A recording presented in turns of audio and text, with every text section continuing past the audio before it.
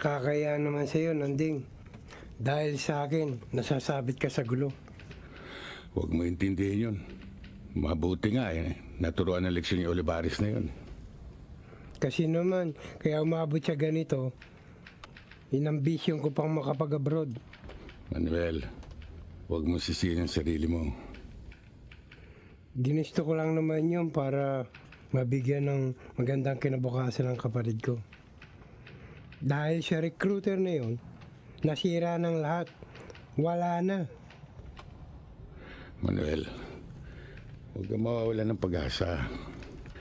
Tiyaga at sipag lang ang kailangan mo. Ang lahat ay nadadaan sa tiyaga. Siguro nga. Pero anong pagtitiyagaan ko?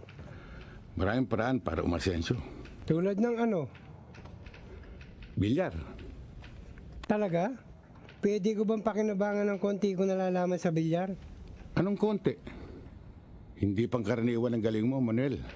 Ikaw, dati kang kampiyon sa bilyar. Wala ka na bang balak balikan to? Hindi na siguro dahil sa balikat ko. Pero ang sabi ng doktor, nasa isip ko lang. Siya nga pala, Nanding. Wala ka na bang balak mag-asawa uli? Wala na sa isip ko yun. Ang nasa isip ko tulad mo, yung masenso. At yung hinabilin sa akin ng nasira kong kumpare. Si PJ. Nagabayan at palaki yung malinis.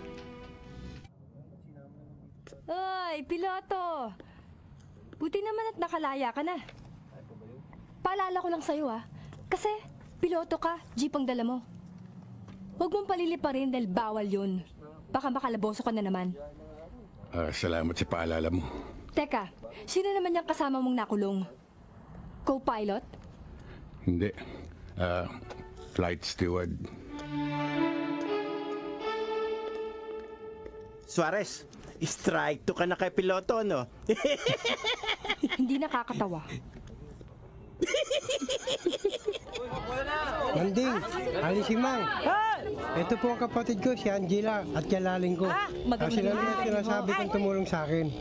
Maraming maraming salamat po sa pagtulong nyo kay Kuya Manuel. Walang anuman. Ah, mamaya kumain na ba kayo? Dumating eh. Naku, salamat ho. Pinakain na ho kami ni Kuya. Ah, marahil pagod kayo, baka gusto niyo magpahinga. Sige po. Ako na magdadala niyan. Ako nga pala si PJ. Ako naman si Angela. Kaya pala, para kang angel. Let me show you the way.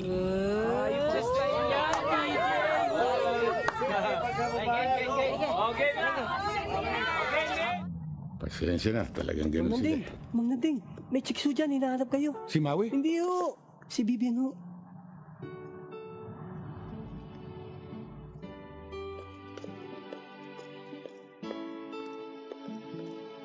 Ako nga, hindi mo ba ako naalala? O kinalimutan mo na ako? Hindi ba ikaw yung... Ako nga, Mr. Piloto. Ano ang piloto? Nan, huwag ka na makialam. Ah, bakit? May violation na naman ba ako?